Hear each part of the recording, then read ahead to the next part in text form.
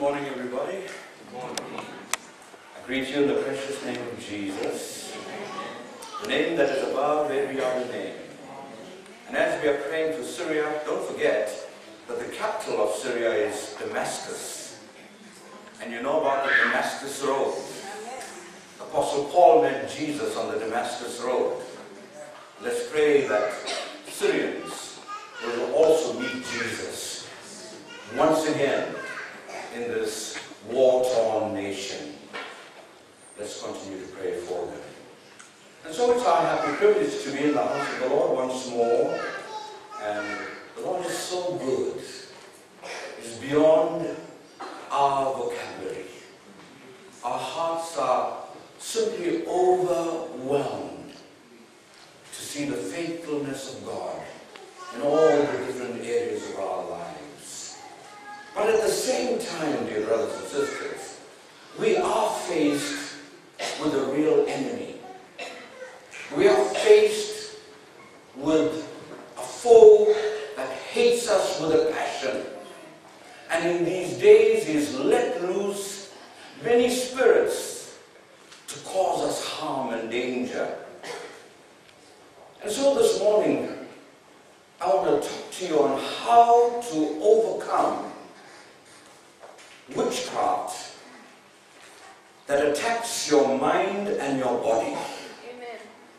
How to overcome this spirit of witchcraft, which I believe has been let loose in these days against your mind. And I'm sure if we had a time of testimony, we'll all testify to the fact that we are attacked in our minds all the time. And so this is a spirit that's been let loose. Solomon, the wisest man in the world, in Ecclesiastes chapter 3 and verse 1 said, To everything there's a season. But I want you to know that this is the season of tremendous demonic manifestation. More than we've ever experienced before. 2,000 years ago, it was there. 2,000 before that, it was there.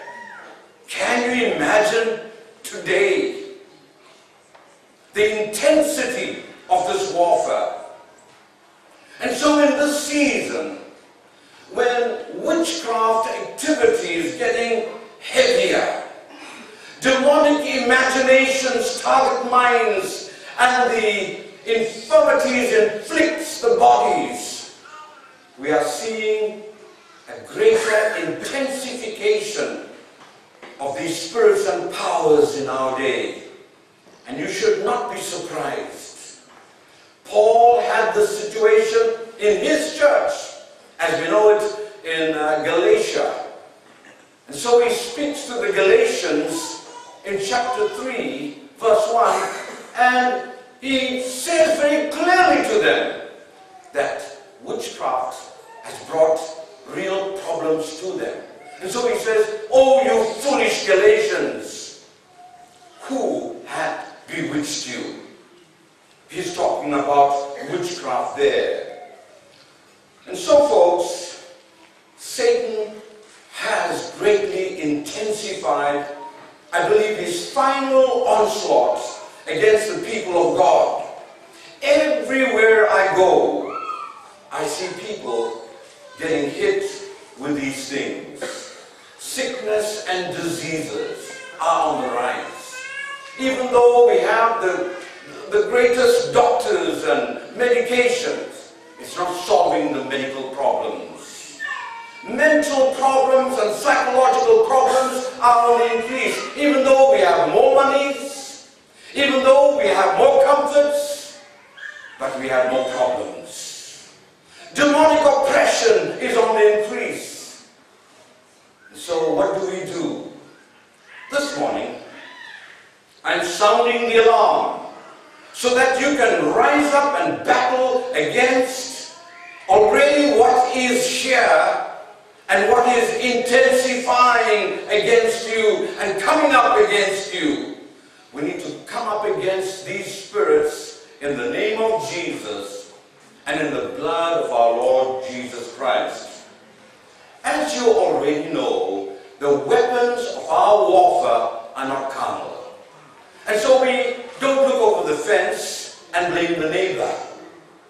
We don't go to work and think somebody's jealous of us there and they are doing something.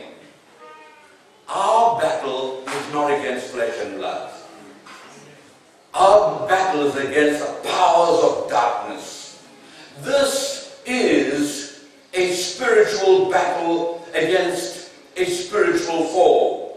And we must bow to our Lord and bow to His Lordship in our lives and all the resources that He has made available to all of us who love Him and, to, and those who serve Him. Now we're going to look at these situations in a few moments. But what I'm going to share with you is what the enemy has unleashed in this last days since this is his strategy. His assignment, according to John chapter 10 and verse 10, is to steal, kill, and destroy. And so that is his name tag. That is his mission. All he wants to do is to steal from you. All he wants to do is to kill, bring destruction and death. And he wants to destroy. That what he is hell bent on doing. Please don't blame God for that. God will not give and take away. I don't care who sings that God gives and God takes away. And I don't care what Job had to say about God giving and taking away. It is not true. God does not give and take away. He will not bless you and then curse you. The God of all blessings. A good father will not curse his own children. It's the devil's assignment. Jesus said in that very same verse, chapter 10 and verse 10 of John, I am come. Do you see the job description of Jesus? I am come that they might have life. Not just ordinary life, but life more abundantly. So he wants you to live the abundant life. But what do we see today? What do we experience today? What are the signs that we witness as we look around? There is what I call Mary worship seems to be on the increase. Now, this Mary worship takes many forms and many shapes. Mary worship now, I'm just not talking about Catholics. They started it. Think about that. Mary worship seems to empower the Queen of Heaven, also known as Jezebel. You know there's no legal queen in heaven. We only have the King of Kings and the Lord of Lords. There is no queen in heaven. So if you want to be queen, be queen here because there's no queen in heaven. What you see in the natural is also true in the spiritual. The Queen is ruling the world right now. Britain's Queen Elizabeth II is the longest reigning monarch in the world. And she does not seem to be giving up anytime soon. It tells us something. You got to think very deeply about this. What about all these pageants? Where there's always a queen. Do you know that there's a spirit let loose at these pageants? Did you know that there's a spirit, a worldly spirit, a lustful spirit,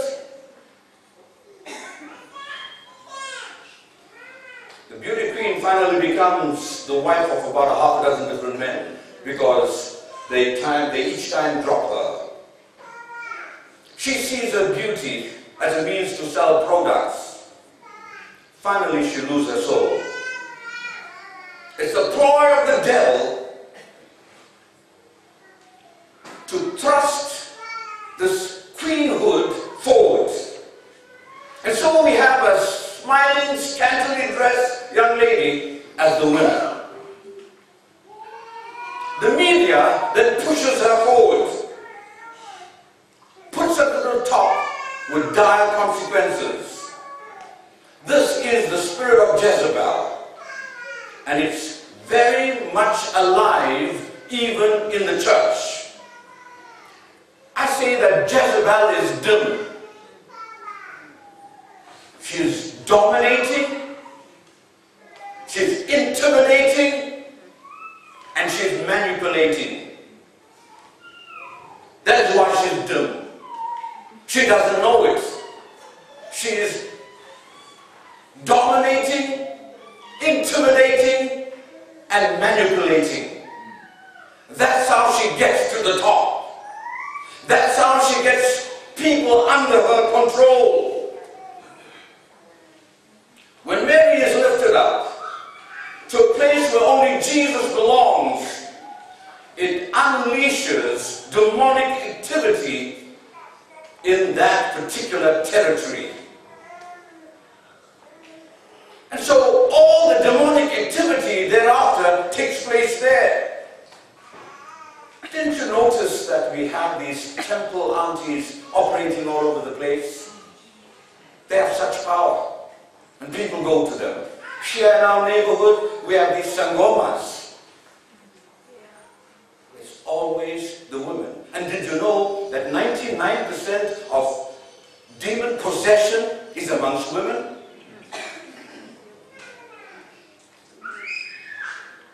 There's something there that we must take note of this morning.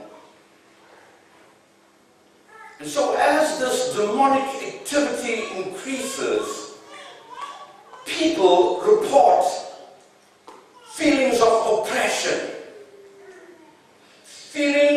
of fatigue, and there's a strong warfare against the mind that makes you feel like quitting. And you might also experience, experience physical manifestations for which doctors can't find the answer. Please, please pay close attention to all that I'm saying to you this morning. And if sleep is going to overcome you, know that it is a demonic manifestation. So I'd rather you even stand and don't lose the message. Don't let the enemy rob you this morning. Many vile spirits are being let loose. And you're familiar with most of them. So I'm not going to talk about them. We spoke about them many, many times. But what I want to really disclose to you this morning is something that we've never, never talked about. In fact, it's a taboo subject, even in the church. We don't talk about it. We only sit in a place of judgment and we judge people who do this. I'm talking about suicide. I call it a growing scourge of the 21st century. And this spirit has been let loose to such a degree that it has overtaken AIDS and many other sicknesses put together.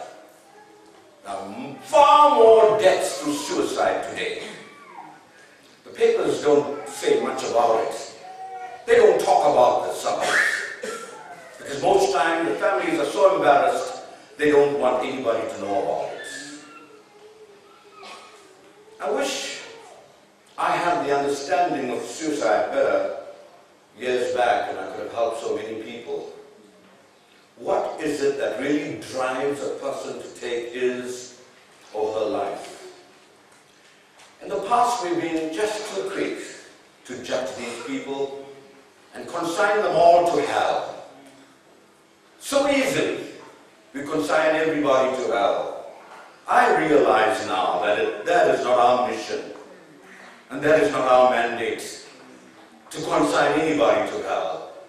We are not judges. We have not been given that portfolio of judging people. And so I made a concerted effort to research this scourge. And what I've learned, I want to share with you.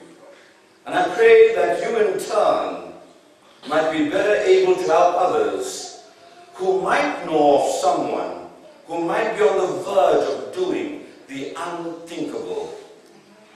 It is my hope and prayer that this message will help prevent this tragedy from occurring in your life or in the home of someone that you know of.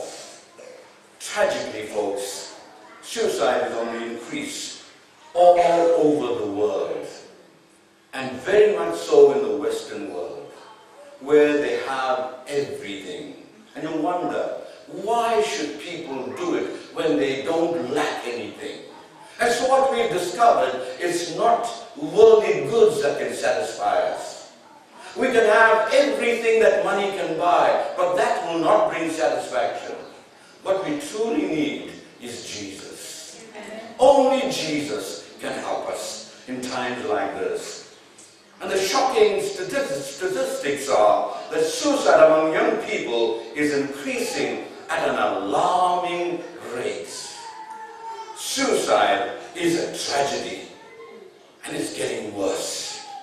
In South Africa, I looked at the figures and it's getting alarmingly shocking.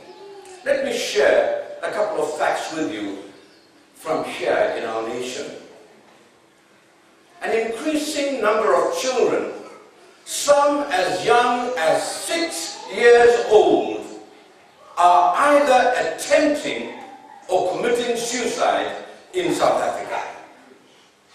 This is just one of the shock findings from a research into South African suicide trends.